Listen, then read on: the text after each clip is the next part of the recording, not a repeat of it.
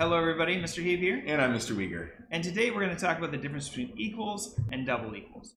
Now first, uh, we've done, we've used equal sign before, and that's when we take a variable and save it as a particular value. Whether it's a string or a number, that value is associated with that, our new variable.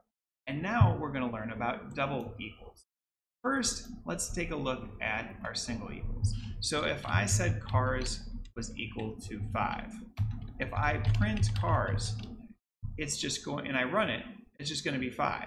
But if I change that to 8 or 89, if I run it, cars is going to be equal to 89. This variable is saved as the value on the right, 89. So we can also uh, use a double equals.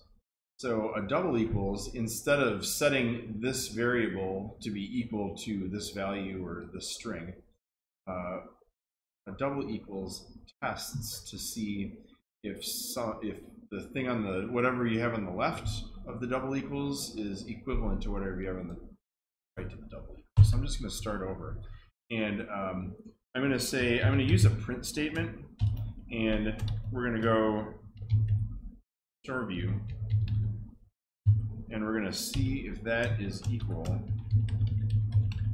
ShoreView. Double equals. Thanks. So we're, we're going to test to see if this string is equal to the same as equivalent to this string. And what we should see in the shell is a true statement because it is. Because the left side is equal to the right side. So then if we change anything about this, let's say even if I just put a space in here and run it, it's going to give me a false because these two things are not exactly the same. Another thing we can do is uh, uh, Python really cares if something is uppercase or lowercase. They call that case sensitive. So if I do ShoreView with a capital S and ShoreView with a lowercase s, if I run that and see if those two are equal, Python says no, false. Those two things are not equal.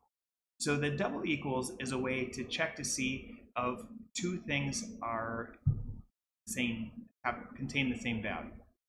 Uh, and that's going to be really important as we move forward with our videos. There you go. So just a quick recap, one equal sign, setting a variable equal to some value or string.